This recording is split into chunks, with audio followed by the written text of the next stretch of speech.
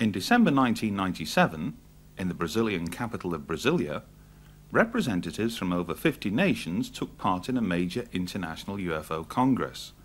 Among them was Alexander Balandine, a former Soviet cosmonaut who spent six months aboard the Mir space station.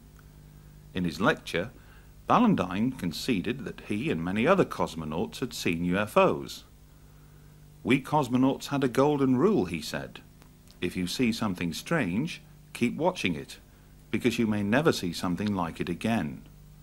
Later, Balandine shook the assembled audience when he claimed that future anomalous images observed and or recorded in space would be shared between the Russian Space Agency, NASA, and a special forum of UFO researchers.